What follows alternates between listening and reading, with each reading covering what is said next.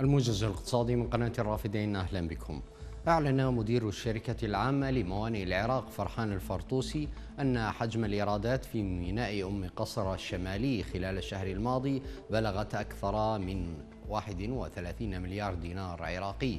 وقال الفرطوسي إن ميناء مقصر الشمالي يعد من أكثر الموانئ العراقية تطورا وذلك بسبب الخطط التي وضعت لإعادة تأهيل البنى التحتية فيه والمشاريع الجديدة التي تم افتتاحها. الأمر الذي انعكس إيجابا على الأداء والأعمال المينائية والإيرادات المتحققة بحسب قوله.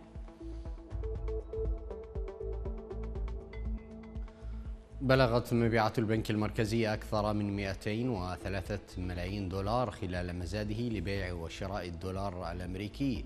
وحسب لائحة البنك فقد بلغ إجمالي مبيعاته 203 ملايين و721 ألفا وستة دولارات. وطبقا للجدول فإن إجمالي التحويلات إلى الخارج بلغت 187 مليون دولار و551 ألف دولار.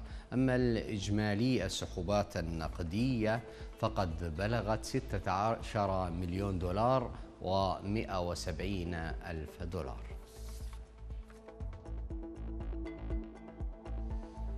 ارتفعت أسعار الدولار الأمريكي أمام الدينار العراقي بشكل طفيف في أسواق بغداد وأربيل مع افتتاح البورصة وارتفعت أسعار الدولار مع افتتاح بورصتي الكفاح والحارثية الرئيستين في بغداد لتسجل 152200 دينار عراقي مقابل كل 100 دولار.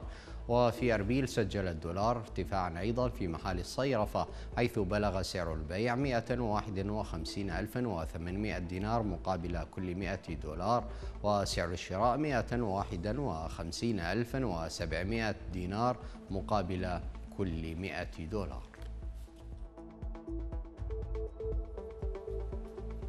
حققت أسعار النفط مكاسب خلال التعاملات الآسيوية يوم الأربعاء في ظل توقعات بأن يظل نمو إنتاج النفط الأمريكي مستقرا إلى حد كبير حتى عام 2025 ما يخفف المخاوف من فائض المعروض.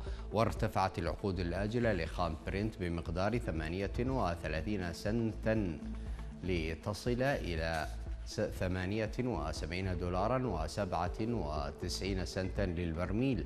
في حين زاد خام غرب تكساس الوسيط الأمريكي واحدا وأربعين سنتا ليسجل ثلاثة وسبعين دولارا واثنين وسبعين سنتا للبرميل. وقالت إدارة معلومات الطاقة الأمريكية في توقعاتها للطاقة على المدى القصير إن الإنتاج المحلي الأمريكي لن يتجاوز الرقم القياسي المسجل في كانون الأول عام 2023 والذي يزيد عن 13 مليون برميل يوميا حتى نهاية شهر شباط عام 2025 انضم المزارعون الإسبان إلى الاحتجاجات الواسعة التي تجتاح أوروبا ضد السياسات الزراعية للاتحاد الأوروبي.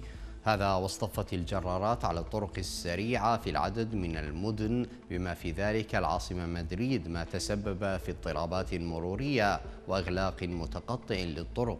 وأصدرت نقابة القطاع الزراعي بيانا تؤكد فيه الحاجة إلى المرونة في السياسات الزراعية للاتحاد الأوروبي ودعت إلى فرض قيود ورقابة أكثر صرامة على المنتجات القادمة من خارج الاتحاد الأوروبي.